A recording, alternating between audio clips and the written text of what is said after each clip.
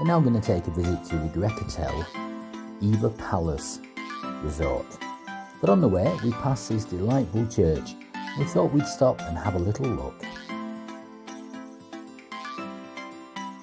What a beautiful setting to just sit down and think about life and watch the world go by. Not that there was much to watch, it was very quiet and tranquil and quite nice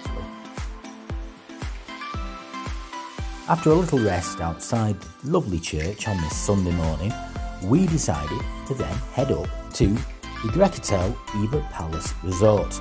This five star resort is situated on the Komeno Peninsula and is just 10 minutes away from Corfu town. As you enter the resort itself, you'll find lots of mature gardens and lots of olive trees, of course, which is what you would expect and as you go into the hotel lobby itself, you are welcomed by lots of antiques. Not to everyone's taste, but I quite liked the decor. It had a boutique feel to it. Let's have a look around.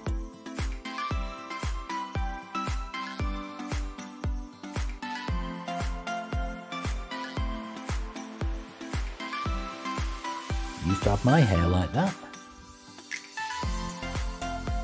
Now I must say the Grecotel chain really pushed the boat out and what a fantastic welcome we had. Lots of drinks and a few snacks waiting for us when we arrived. And just look at those spectacular views.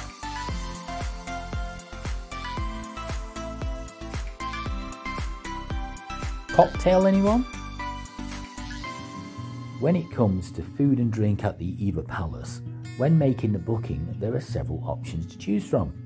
You can have breakfast only, you can have half board, or you can have comfort all in, which is a little bit like all inclusive.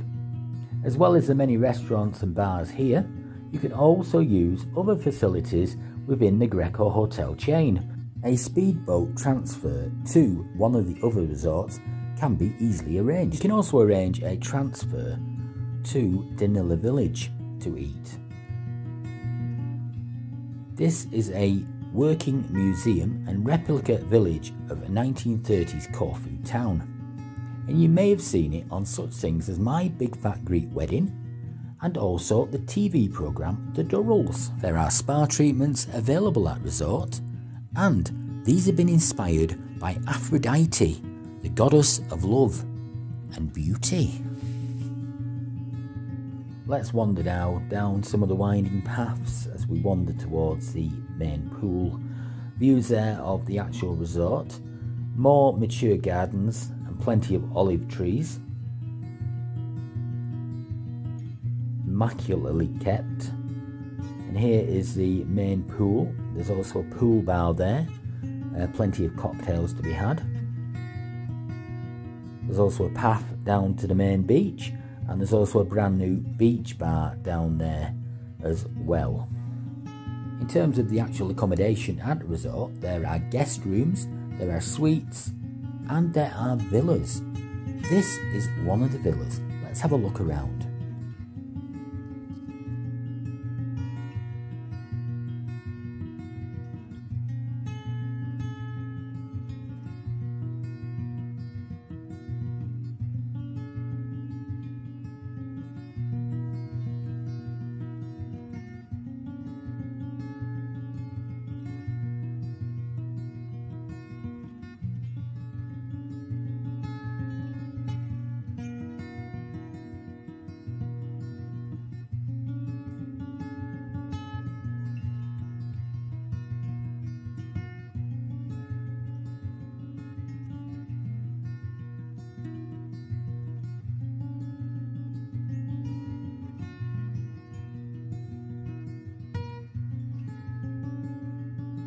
There's also plenty for children to do at this resort.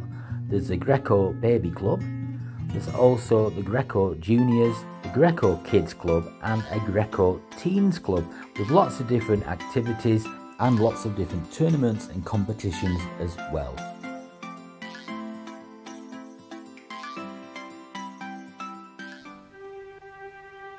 Let's have a final look around the resort now. Don't you wish you were here?